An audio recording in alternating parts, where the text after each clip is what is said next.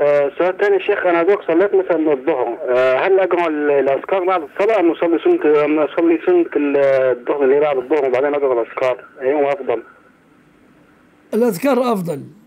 الأذكار ثم السنة. أيوه. جزاك الله خير. أيوه.